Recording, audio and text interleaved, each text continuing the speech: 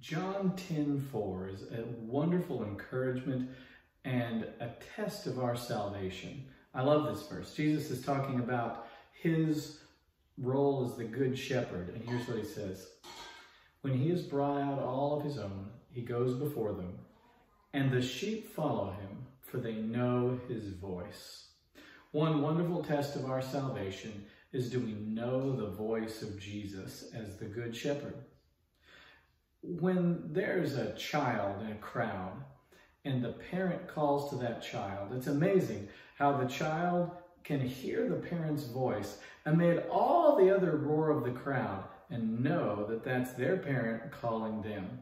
Jesus says there's a similar effect spiritually on those that are his people. If we are truly saved, if we're truly the people of God through his son Jesus, we hear the voice of Jesus and we can heed that voice even in the midst of a crowd when there are so many other voices in our world calling out.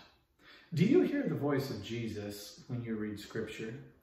Every word of this Bible, whether it's a red letter or a black letter, is the word of Jesus. Jesus inspired it all. When you read the scripture, do you recognize that in your soul as the words of Jesus to you for instruction and encouragement?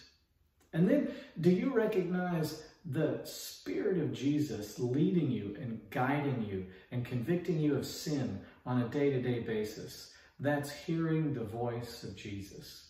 If you hear the voice of Jesus and recognize him as the Good Shepherd, what a wonderful assurance you have of your salvation.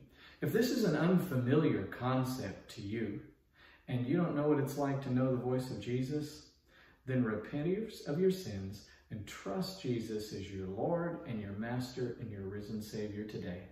Have a great Thursday.